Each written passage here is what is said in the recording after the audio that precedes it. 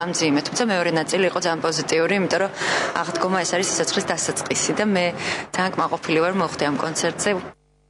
საქართველოს ოლიმპიური ნაკრები სოჩში 6 თებერვალს მიემგზავრება, თუმცა დელეგაციის ნაწილი ოლიმპიურ ქალაქში უკვე ხვალჩავა. დღეს სპორტსმენებმა ოლიმპიურ კომიტეტში ფიცი დადეს ეს მისია ოლიმპიადაზე საქართველოს მეტროშემ შეასრულა.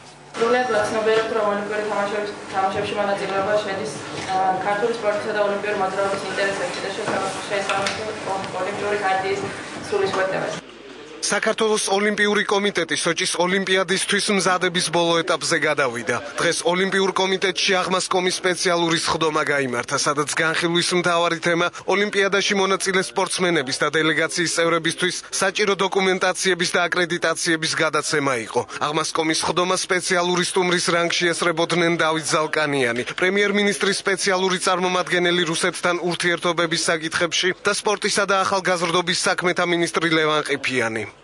განწყობა მინდა გითხრათ არის საბრძოლო. სპორტსმენები მობილიზებული არიან მაქსიმალურად და შეეცდებიან თავისი პოტენციის მაქსიმუმი. წარმოაჩინონ პირველი სოფლის ტერიტორიაზე იქნება სწორედ აკრედიტირებული საგარეო საქმეთა სამინისტროს ოფიციალური წარმომადგენელი რომლის უშუალო კომპეტენციაში იქნება დახმარება აღმოუჩინოს ოლიმპიადაში მონაწილე საქართველოს მოქალაქეებს. აღმასკომის ხდომას სპორტსმენებიც დაესრნენ რომლებიც სოჩში საქართველოს სახელით იასპარეზ პრენი გაკვლებით შეიძლება ითქვას, რომ ოცეული შეიძლება შეითვალოს ძალიან კარგ შედეგად. იქიდან გამომდინარე, ეს არის სათხილამურო სპორტი, ცოტა სპეციფიკურია სხვა სპორტებისგან განსხვავების და მე დონებ, რომ მათი მხრიდან არ იქნება კონკრეტულად ოლიმპიური თამაშებზე რაიმე პოლიტიკური წეწოლა ან სპორტსმენებზე ან დელეგაციაზე. მე უბრალოდ იმას ვიტყვი, რომ მე ვარ სპორტსმენი. მე მაქსიმუმს გავაკეთებ ჩემი ქვეყნისთვის, რომ მაქსიმალურად კარგად წამოვაჩინე ჩემი ქვეყანა და ამასთან შედარებით თუ იმეს ამ პრეტენზია აქვს ანუ ხალხთან და რაც ოლიმპიური კომიტეტი და ჩვენი ფედერაცია გადაწყვეტს იმას რომ საქართველოს სპორტსმენების სოჩში გამგზავრებას აპროტესტებს საზოგადოებრივი კავშირი დროა. დროას წარმომადგენელი ამბობს, რომ იმ დროს, როდესაც საქართველოს ტერიტორია ოკუპირებული აქვს იმ ქვეყანას, სადაც ოლიმპიადა უნდა ჩატარდეს, ქართველი სპორტსმენების შესვლა მიუღებელია.